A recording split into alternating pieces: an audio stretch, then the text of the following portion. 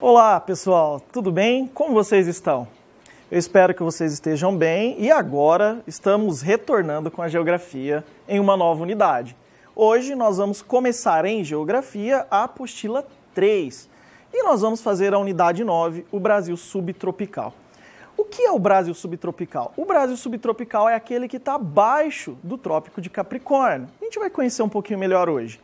Nós já estudamos a região Nordeste, nós já estudamos a região Sudeste e hoje nós vamos começar a conhecer um pouco sobre a região Sul do Brasil, beleza?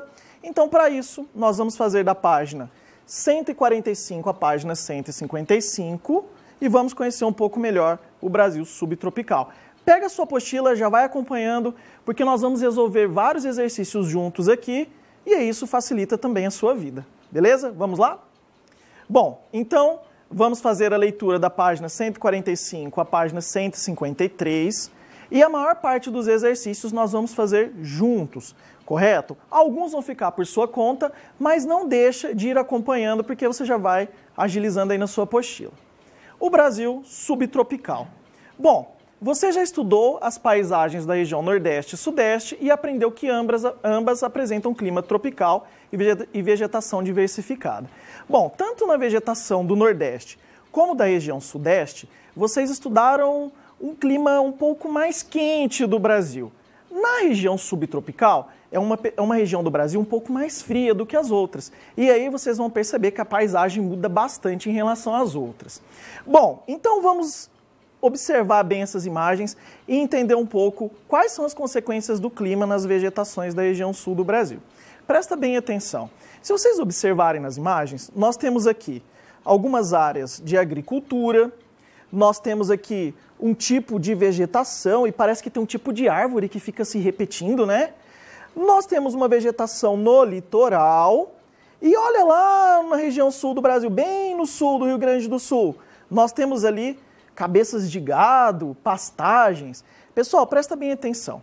Nós temos na região sul do Brasil alguns tipos de vegetações. Tem uma vegetação chamada Mata das Araucárias, nós vamos estudar ela hoje, que só tem na região sul do Brasil. Tinha um pouco no estado de São Paulo também, mas ela foi desmatada, né? substituindo a vegetação por agricultura, para usar madeira para fazer móveis, para usar como lenha, lá no início do século XX. A gente já aprendeu isso em história. Nós temos também aqui a Mata Atlântica, lembrando que a Mata Atlântica é a mata mais devastada do Brasil. Hoje a gente tem mais ou menos de 6 a 7% da original. Ela foi devastada para substituí-la pelo café, para a urbanização do Brasil. Lá na região do, do Rio Grande do Sul, bem lá no sul, onde a gente está vendo aqui as criações de gado, nós temos uma área chamada área de campos. Lá são áreas de pastagens, não tem muitas árvores não. É mais como se fossem gramíneas. E aí é um lugar muito bom para a criação do gado. E aí você também não precisa desmatar, né? Porque quando tem árvore para o capim crescer, precisa desmatar. E essa é uma região que não tem necessidade. Observando as imagens aqui, a gente pode observar que na região sul do Brasil nós temos pesca, tem neve na região sul do Brasil. Olha que incrível, esse ano nevou na região sul do Brasil. Professor, mas neva em todo lugar do sul? Não. Turma, para nevar precisa de algumas condições climáticas bem específicas e aí tem uma que é primordial. Precisa chegar uma frente fria vindo lá do Polo Sul e aí para formar a neve geralmente vai formar nessas regiões que vocês estão vendo aqui, ó, nas regiões de serra. Olha que interessante, existe uma relação entre altitude e temperatura. Então, quanto mais elevado for o lugar em relação ao nível do mar, mais frio vai ser e maiores possibilidades de chuva. Então, para a gente entender um pouco melhor de onde é essa região que a gente está falando, nós temos basicamente três estados na região sul do Brasil: Paraná, Santa Catarina e Rio Grande do Sul. A região sul do Brasil é formada por três estados: Paraná, Santa Catarina e Rio Grande do Sul, e é a menor região do Brasil em extensão territorial. Bom, então o que nós vimos no, slide anterior. Nós vimos mata com pinheiros, ou chamada mata das araucárias, ou mata dos pinheirais. O que dá o nome a essa mata é a árvore, a gente vai conhecê-la daqui a pouco. O Pampa Gaúcho, que é a área de campos, né? É a área onde a gente tem a melhor criação de gado do Brasil, a carne com a melhor qualidade e o melhor preço. Temos local com neve, a única região do Brasil que pode nevar é a região sul do Brasil. Litoral com praias. Olha que curioso, no inverno é muito frio, mas no verão faz muito calor, então essas praias elas são muito ocupadas. E é interessante porque lá tem praia dos ingleses, muitos argentinos viajam lá da Argentina e vêm até o Brasil para as praias do sul para aproveitar um pouco do nosso calor. E nós temos a Lagoa dos Patos, correto? Então vamos trocar ideias aqui agora. Qual é a principal linha imaginária que passa por essa região? Galera, vocês lembram lá no quarto ano, quando vocês estudaram algumas linhas imaginárias, a gente fez uma revisão esse ano também? Nós temos algumas linhas imaginárias que cortam o Brasil, na verdade são duas. Nós temos a linha do Equador na parte de cima e na parte de baixo nós temos uma linha imaginária chamada Trópico de Capricórnio. Turma, lembrando que é uma linha imaginária. Se você passar por essa linha através de uma rodovia ou de uma estrada, não vai ter nada lá. Não vai ter nenhuma linha passando no chão. Mas provavelmente vai ter uma placa indicando aqui passa o Trópico de Capricórnio. Na cidade lá de Ubatuba, indo para Paraty, tem um lugar que tem uma placa e é até ponto turístico. As pessoas param os carros para tirar foto onde essa linha imaginária corta. Levante hipóteses para as características sobre as características do clima dessa área. E aí, como é que será que é o clima da região sul do Brasil? Será que é igual ao clima da nossa cidade de Barretos? Pessoal, não é igual ao clima da nossa cidade. Lá, o clima é mais frio, tá? É um clima temperado, é um clima subtropical e ele tem algumas características interessantes. Lá, o, as estações do ano são bem definidas, você consegue ver muito bem primavera, verão, outono e inverno. E lá chove o ano todo. São poucos períodos de seca de estiagem. Então a gente já começa a perceber que é bem diferente da nossa. E tem uma coisa interessante também. Aquelas frentes frias, você lembra? Tá calor, aí daqui a pouco esfria, tá calor, esfria. Essa mudança de temperatura eh, são massas de ar que vêm lá do Polo Sul.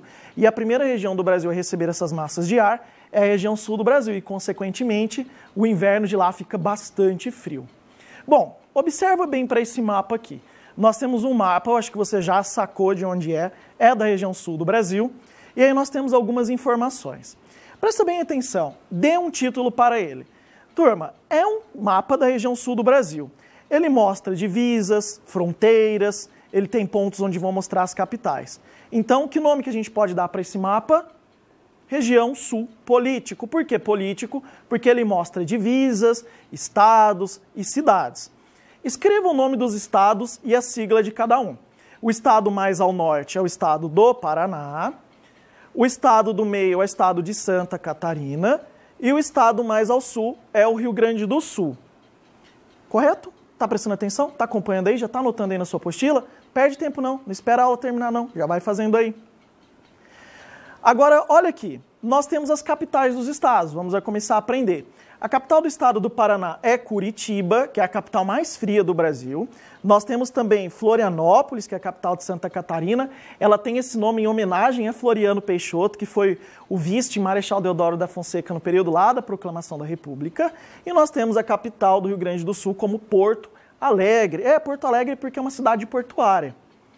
Agora, o exercício 2. O exercício 2 é um gráfico e é muito simples. O gráfico a seguir mostra a área ocupada pelas regiões no território brasileiro.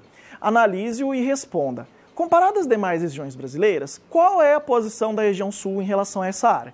Então nós temos aqui do lado esquerdo a área em quilômetros quadrados e na parte de baixo nós temos as regiões do Brasil. Se você bater o olho, não precisa analisar muito, você já vai perceber que a região sul é a que tem a menor posição entre todas as regiões do Brasil e ela ocupa em torno de 7% de todo o território. Então, de todas as cinco regiões do Brasil, a menor região de todas é a região sul, ocupando 7% do Brasil. Então, ela é relativamente pequena. Relativamente pequena, porque ela é comparada a outras regiões do Brasil. Fácil, né? Observe no mapa a linha do Trópico de Capricórnio. Então, preste atenção nesse mapa, nós temos duas linhas cortando o mapa.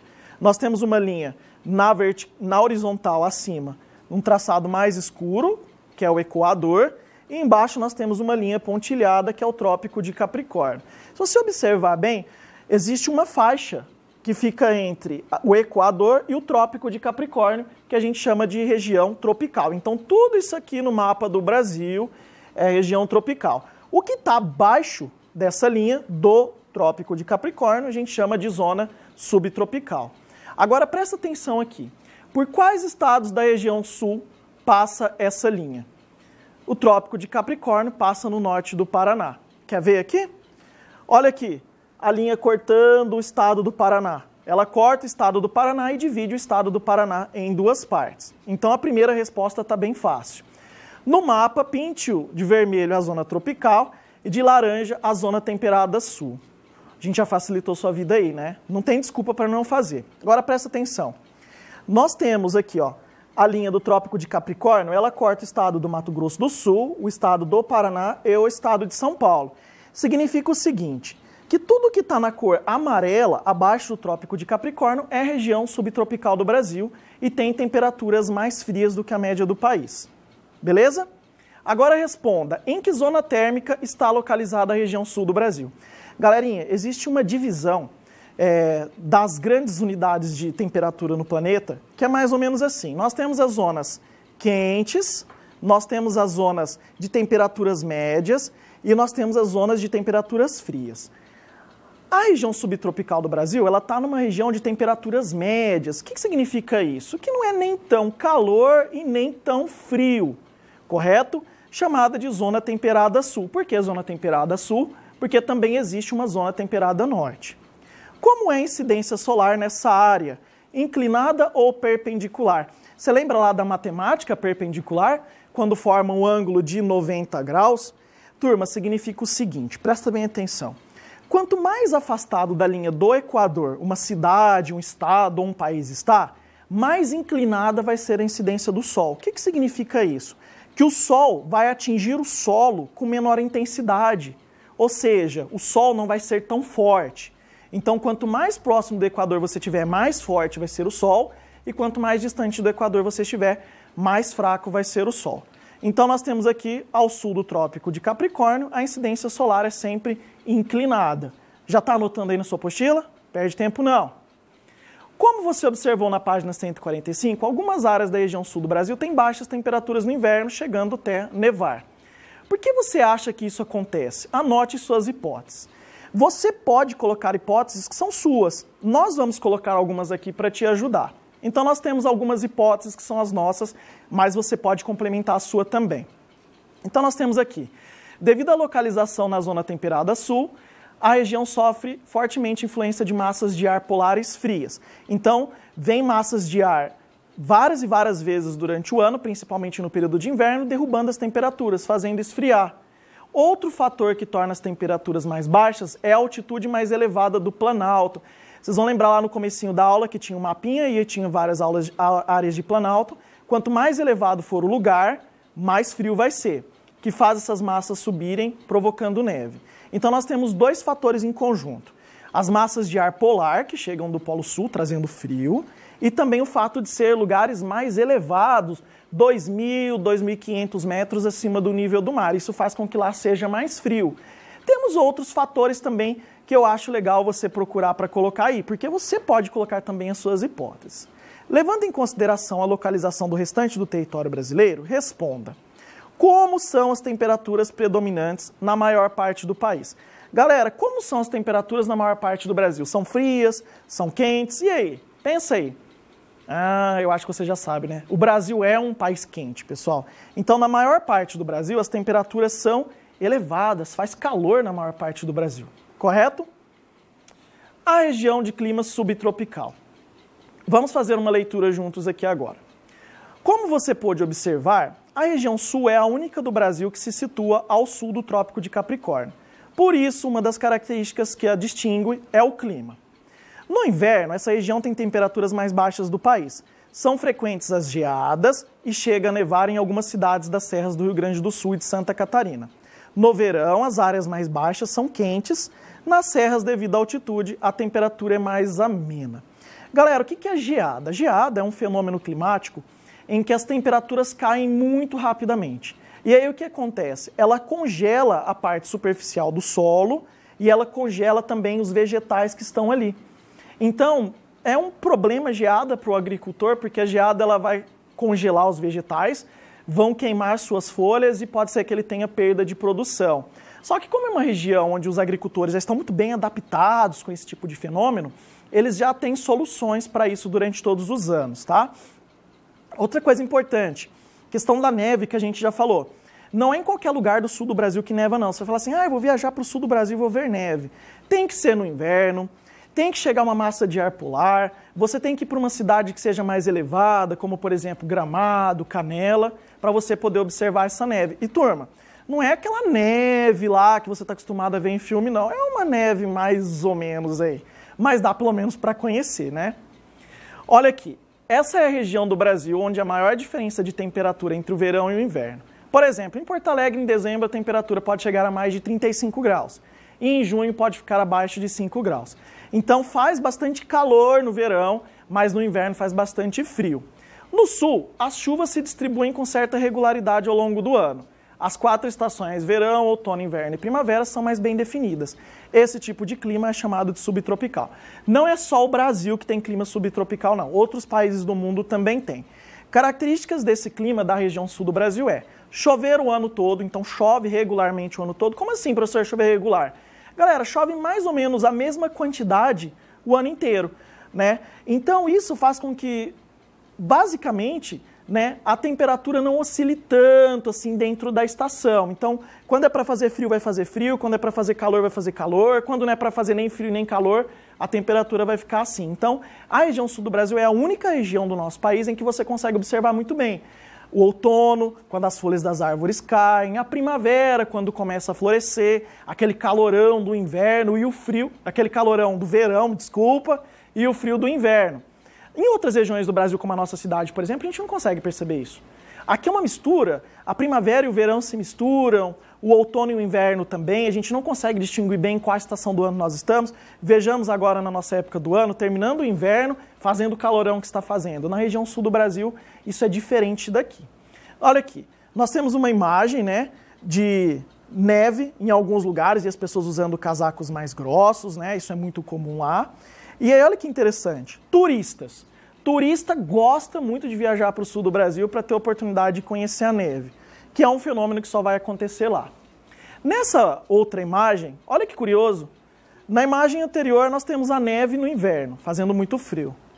E na próxima imagem, nós temos as pessoas na praia curtindo o verão e o calor. Curioso, né?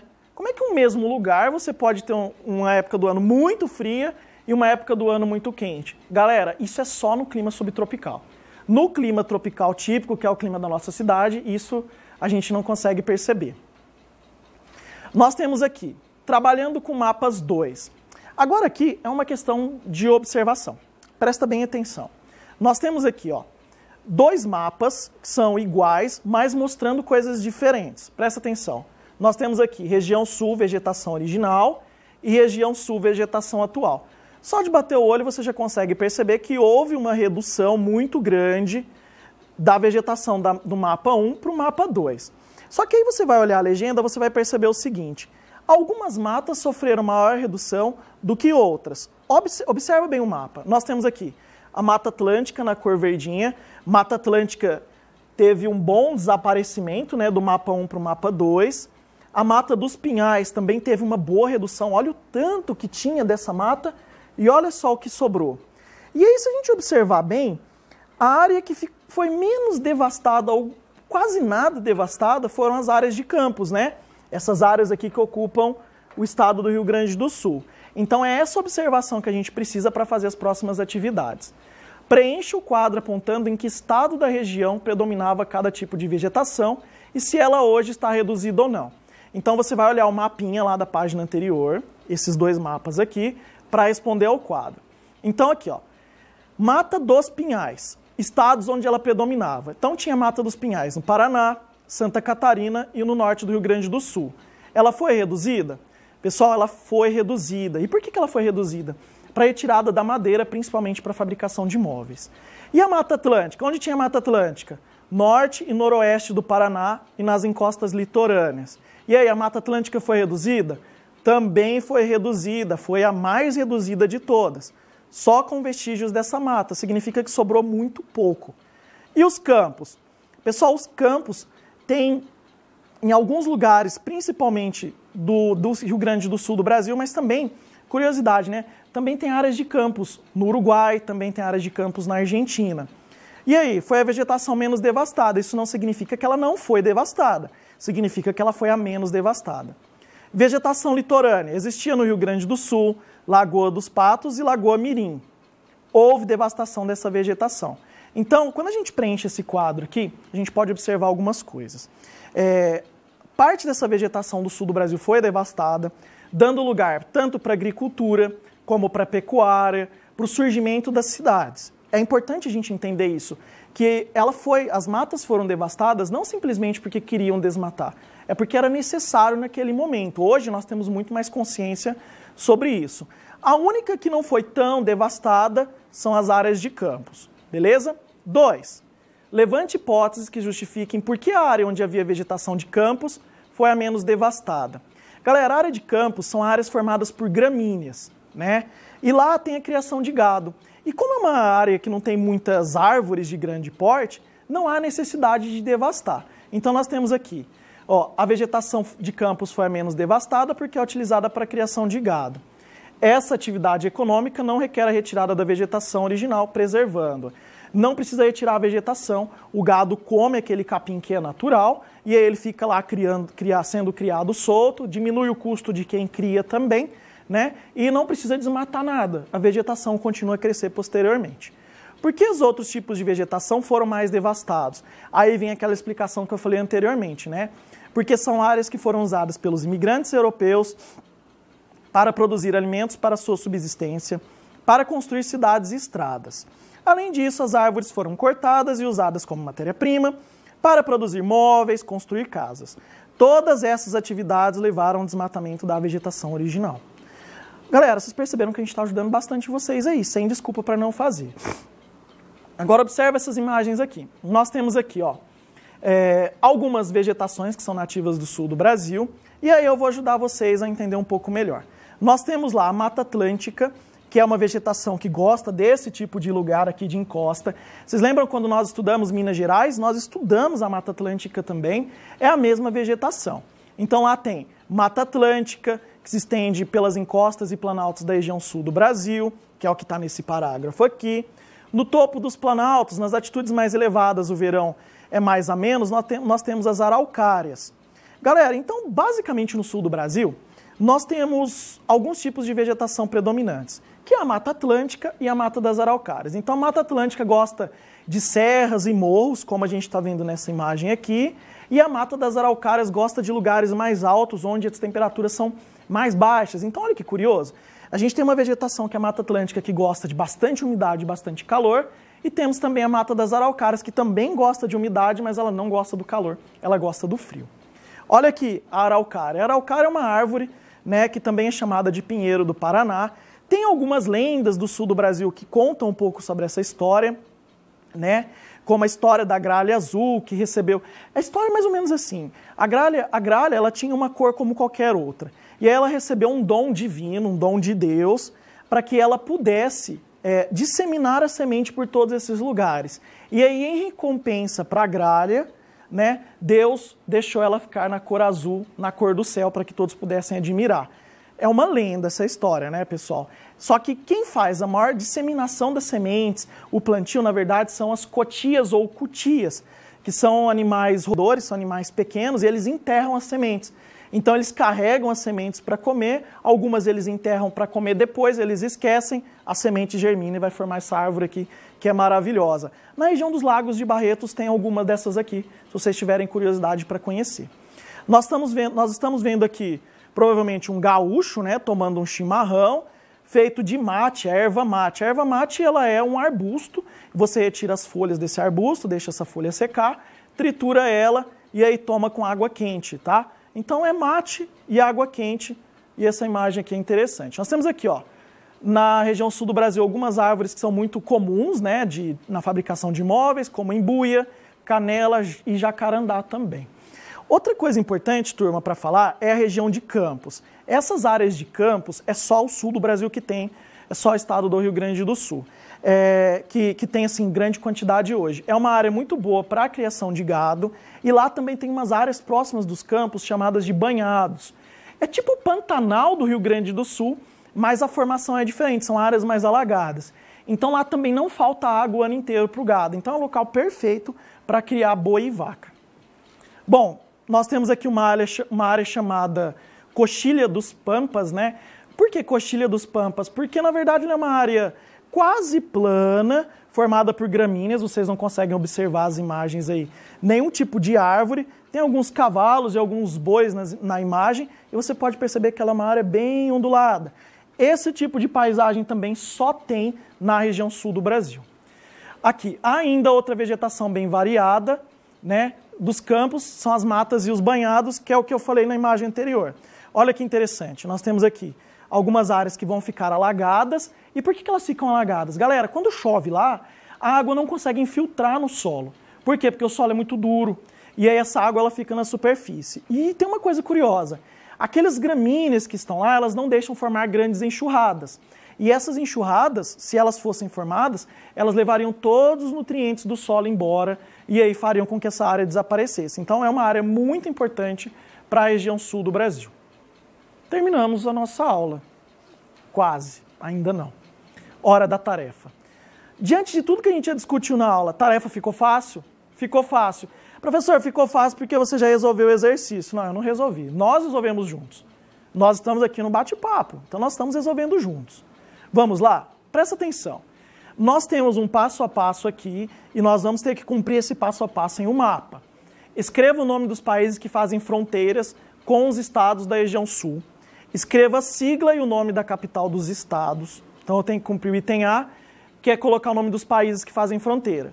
No item B, colocar a sigla e a capital dos estados. Passar um, um traço vermelho sobre a linha imaginária, responder qual é a escala e medir a distância de algumas cidades. Então vamos lá. Presta atenção, vamos fazendo por partes aqui. Nós temos um mapa, esse mapa aqui você já viu anteriormente, ele é o mesmo mapa das outras páginas. Então vamos lá. Países que fazem fronteira com a região sul do Brasil: Paraguai, Argentina e Uruguai. Sigla dos estados e nome da capital. PR é sigla do Paraná, capital é Curitiba. SC é, é a sigla de Santa Catarina, capital Florianópolis. E RS é a sigla de Rio Grande do Sul e a capital é Porto Alegre. Eu me recordo do passo anterior. A gente tem que passar agora um traço sobre a linha imaginária. Como é que chama essa linha imaginária que está aqui? Vocês lembram o nome dessa linha? Qual é a linha imaginária que corta a região sul do Brasil? É o Trópico de Capricórnio. Beleza? Fácil, né? Agora tem mais duas questões para a gente responder. Meça a distância entre a capital do Rio Grande do Sul e a capital do Paraná. Depois, utilizando os dados da escala e uma calculadora, calcule a distância real em linha reta entre elas. Faça o mesmo procedimento considerando as cidades de Florianópolis e Curitiba. Então o que, que você vai fazer? Você vai pegar lá a sua régua, vai colocar em cima da capital do Rio Grande do Sul, em cima da capital do Paraná e vai medir. Beleza?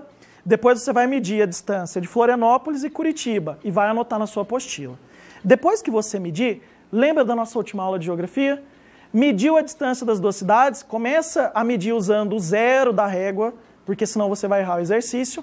Depois que você medir, é só multiplicar para a escala do mapa. Nós já resolvemos para vocês aqui, mas é importante você fazer aí para você poder entender. Como é que vai ficar? Eu vou olhar a escala do mapa, que é 1 para 110 quilômetros. Significa que cada centímetro no seu mapa equivale a 110 quilômetros ou a 11 milhões de centímetros. Então, o que, que eu vou fazer? Eu sei que a escala do meu mapa é essa. Professor, como é que você sabe? Está lá embaixo do seu mapa. O seu mapa tem escala, é só olhar lá. E aí você vai fazer o que depois? vai medir a distância das duas cidades e multiplicar pela escala. Então essa atividade aí você consegue fazer. Agora exercício 2. O F, né? Você fica fica para você fazer aí também. Lembra, mede a distância e multiplica pela escala. 2. Observe as fotos que mostram os tipos de vegetação da região sul do Brasil e associe os respectivos nomes. Tem quatro imagens aí na sua apostila. Tem essa e tem mais duas imagens. O que, que você vai fazer? Você vai associar a letra com a imagem. Fizemos uma aqui para vocês. Essa área aqui é a área do quê? Área de campos. Os outras imagens vai ficar por sua conta, tá facinho também, não tem como não fazer. Último exercício da tarefa, analise os mapas da região sul do Brasil, que é o mesmo mapa da página 150. Então você vai lá na página 150, vai olhar o mapa e vai responder qual é a situação da vegetação original da região sul do Brasil? Qual é a situação atual da vegetação original? Ou seja, como é a situação da vegetação hoje? Olha o mapa 1, olha o mapa 2. Aumentou ou diminuiu? Diminuiu. Porque ela foi que devastada, dando lugar à agricultura, à pecuária, à urbanização. E o que explica essa situação? Será que você dá conta de fazer? Então você vai pensar em quais motivos levaram ao desmatamento da região sul do Brasil. Acabamos a nossa aula. Começamos a conhecer um pouco melhor a região sul do Brasil, mais uma região. Façam as atividades, se for necessário, volta o vídeo, assiste de novo, conversa com seu professor, conversa com seu colega, é sempre muito legal aprender, tá bom? Um abraço para todo mundo, fiquem com Deus e até a próxima aula. Tchau, tchau.